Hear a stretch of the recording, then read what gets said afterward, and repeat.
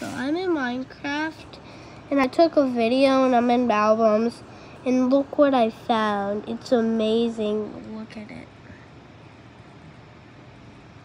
Look